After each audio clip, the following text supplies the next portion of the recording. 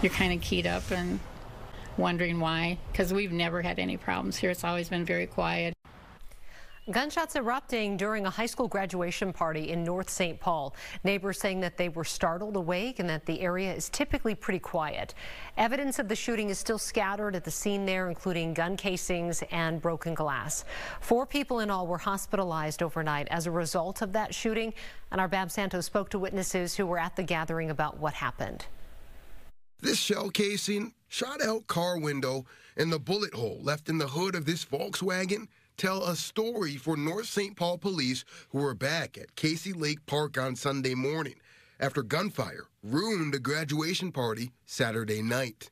We were actually locked in here till like 1 in the morning. They told us you cannot leave. It's a crime scene now. They did not let us leave. Around 1045 Saturday night, this event center was emptying out after a party to celebrate Adila Sal Sr., her father, who asked to remain anonymous, says just outside the doors, another party had brought about 100 people to the area when suddenly shots were fired and his family hit the deck inside the building. Very scared, heard the gunshots. I'm trying to go back and forth, trying to protect the doors. It got loud for about three to five minutes nonstop, shots all over the place. Neighbors say they heard anywhere from 30 to 60 shots fired, what they believe was automatic gunfire.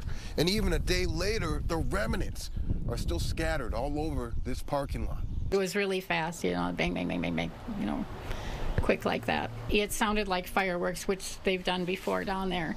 So I got up and I looked, and I, I, didn't see anything in the air, so I knew it was gunfire. Aside from hospitalizing four people, this gunfire peppered the side of this building and woke up Marianne Hammer in her home across the street.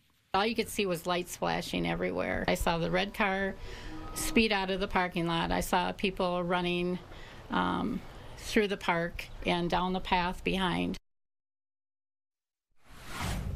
Authorities haven't said how seriously injured those four people were. We reached out today to see if any arrests were made, but have yet to hear back. Live in the newsroom, Babs Santos, Fox 9. All right, thank you, Babs.